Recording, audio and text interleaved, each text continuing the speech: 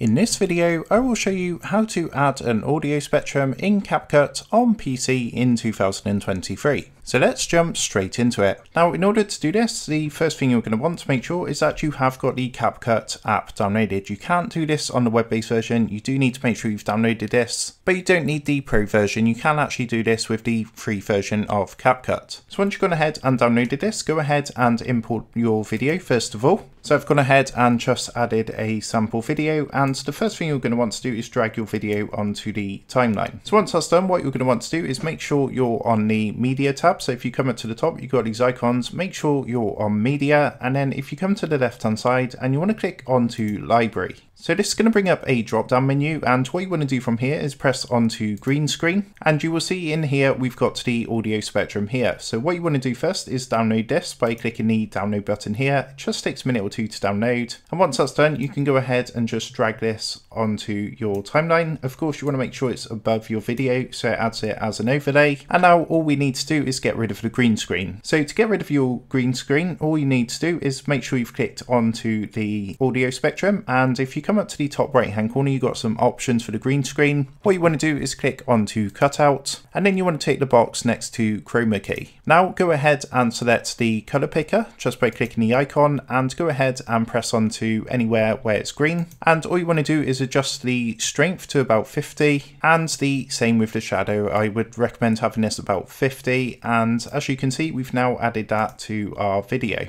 So of course what you can do, you can move this about wherever you want it on the video and when you go ahead and start playing this, you're going to see that the audio spectrum will start to work. In this video, I will show you how to use outfit codes in Roblox Catalog Avatar Creator.